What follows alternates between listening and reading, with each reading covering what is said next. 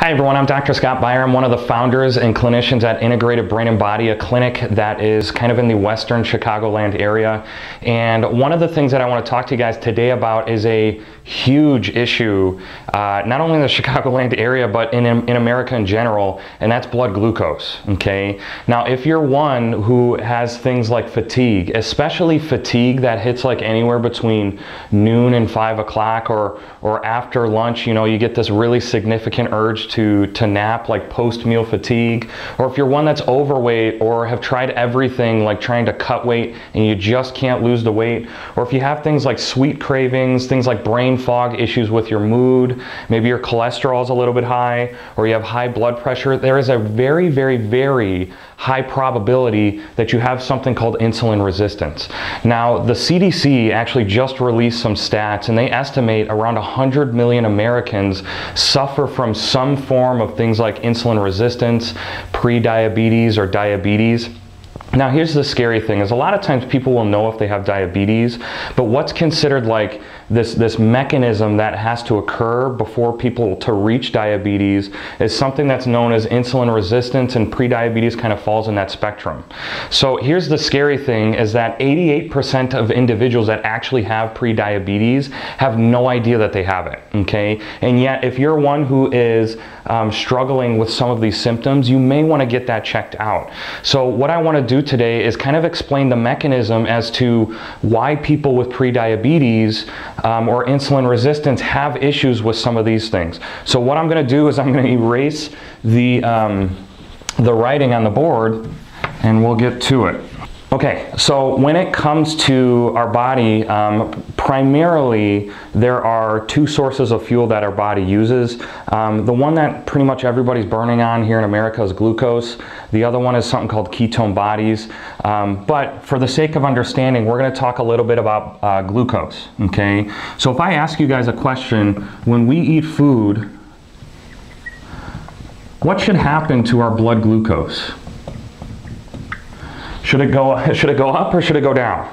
And the answer to that, which I'm sure you guys have probably guessed, it goes up. It doesn't matter if you're 100% perfectly healthy, it doesn't matter if you're insulin resistant, prediabetes, or even diabetes. Every time you eat a meal, what should happen to your blood glucose is it should go up, okay? So every time we eat food, we should see a rise in our, our blood glucose. That's normal, okay? Now glucose, um, it being one of the primary sources of fuel, it's absolutely useless inside of the bloodstream. Um, it has to get inside of, if this is like a cell right here, it has to get inside of the cell to where it can be utilized as a source of, of fuel for energy, okay? The example I always give is if you can imagine you were taking a road trip with your friends and you were out like in the middle of nowhere on the super long and straight road and all of a sudden the car's fuel gauge comes down to, to empty okay? Car comes to a sputtering spot sputtering stop. There's no gas stations for miles. But that's okay because in the in the back of the car there's these filled gas canisters of gasoline. Okay? Well how come the car isn't running like how it should? It's because the the fuel is not inside of the fuel tank to where it belongs. It's the same thing with, with glucose inside of the blood, as glucose for the most part is useless inside of the bloodstream. It actually has to get inside of the cell to where it can be burned and utilized for energy. Okay, now there is a um, signaling molecule that helps do that. Okay, and this signaling molecule, what it does is it will open the door to allow for glucose to get inside of the cell. Now what is this signaling molecule? Well that signaling molecule is insulin. So you better believe that chronic elevations of blood glucose, if our, so let me rewind myself. If insulin's main job is to take glucose inside of the blood, okay, and put it inside of the cell to where it belongs, if we have chronic elevations in blood glucose, What's going to happen is since insulin's job is to take all this blood glucose and shove it inside of the cell to where it belongs, our body's going to start secreting more insulin. And what happens with, with any type of signaling molecule or peptide or hormone is um, if, if hormones get too high, for a long period of time, what will happen is the cells will start to kind of grow a little bit more resistant to that that hormone, okay? And insulin is no exception. So if there's chronic elevations of insulin, what will happen is the cell just grows a little bit more resistant to that, okay? So it'll stop listening to insulin. Now, if, if insulin's main job is to open up the door and get glucose inside of the cell, and it's, it's not really exerting its most powerful effects on the cell because the cell's growing more insulin resistant, what will happen is glucose will bounce off of that cell. Okay, now before I tell you where it goes, if we can no longer get into gluc if we can no longer get glucose inside of the cell, what do you think happens to the energy production of that cell? Does it go up or does it go down? goes down. This is why one of the main um, symptoms that we see with insulin resistance or people with diabetes is fatigue. So the story doesn't stop there. You know, it, it generally decreases cellular energy. And what will happen is glucose bounces off the cell, gets sent to a different area of the body, and this area is, is our liver.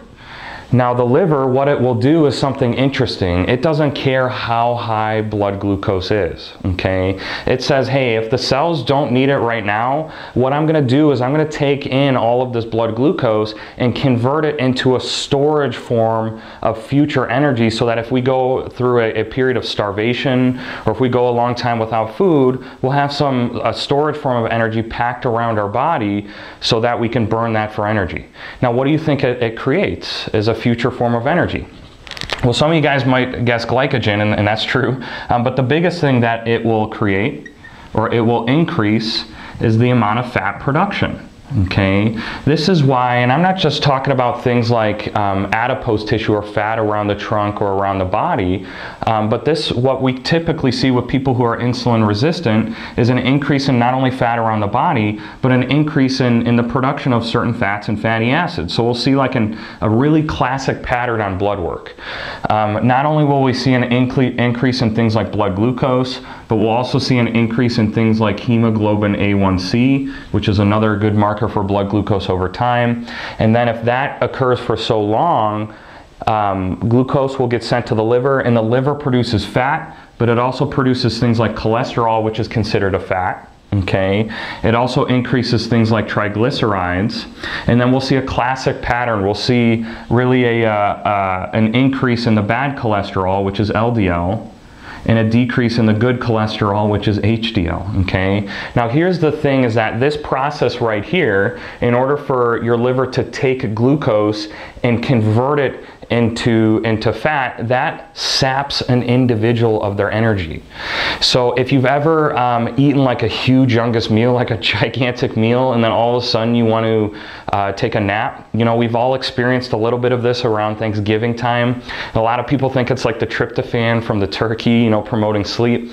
Um, if that was true, we would get tired every time after we ate a banana because bananas have like two to four times the amount of tryptophan than uh, servings of turkey does. The reason why people tired post big meals or those with insulin resistance is that this process to take glucose and convert it into fat saps individuals of their energy. And that's one of the classic uh, symptoms that we see with individuals with insulin resistance is um, just post meal fatigue or generalized fatigue. Okay. Now, if this sounds like you, you're not alone. Like I said, CDC estimates around 100 million Americans, that's one third of Americans, have some degree of this. Now, when this spirals out of control and it gets so bad, that's what we call type 2 diabetes, okay? And let me tell you, once you hit type 2 di diabetes, um, out or, or up goes like five prescription medications. And it's all like things like either insulin or metformin You'll probably get put on a statin. You'll probably get put on, on uh, high blood pressure medication and then something like an antidepressant. Super common, like for someone to get diagnosed with diabetes, now, you know, next comes like five different medications, okay? The good news is that a lot of this can actually be reversed by watching some things in our diet. So if you guys found this interesting, or if you have a family member who this sounds exactly like, don't be afraid to share the video. Like I said, if you wanted to work with one of the clinicians here, we're in the Chicagoland area. You can find out more either uh, by, by doing a Facebook search for Integrative Brain and Body or visiting our website, uh, the letter I, like integrative, and then brainandbody.com. I'm Dr. Scott Beyer. Hope you guys found this informative. You guys have a wonderful day.